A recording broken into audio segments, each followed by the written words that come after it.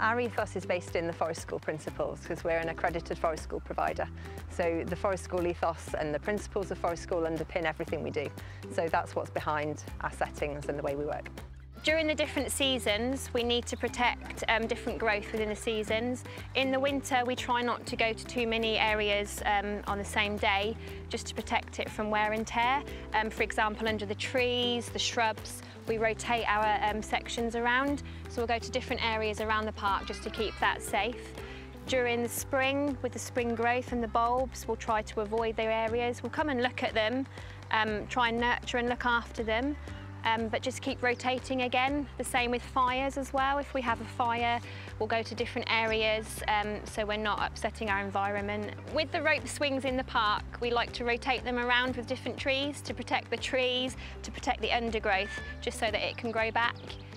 Uh, when can you play with some of the natural things like the flowers or the blossom or something like that? Are you ever allowed we to water pick them the up? flowers. No. Yeah. Okay, when, when can you pick them up? Because I know you do a little bit. So when is it okay to pick up some of the blossom or the flowers? When, when they fall down. Um, we will take wood from the park, but we're cautious not to take too much. Um, after we've had storms, we'll come and collect little bits of storm damage from the poplar trees mainly um, for our crafts. We'll also um, use different um, bits of wood and natural materials within the seasons. We'll take a little bit, but again, we'll leave enough to sustain the environment and look after our park.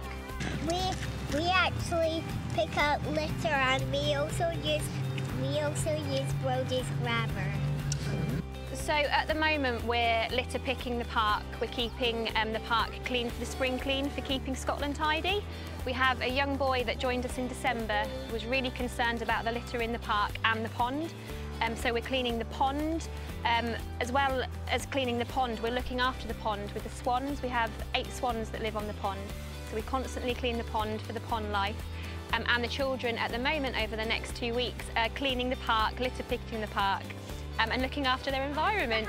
So fundamentally it's about the environment that we work in and it's about building resilience with the children and developing their awareness because we're trying to educate the children to be the future guardians of their environment. So with this being a public park, it's particularly relevant here because they come into the park with their families all the time. They are part of the communities, they're going to be part of the community growing up and for them to feel an attachment to this place is really important.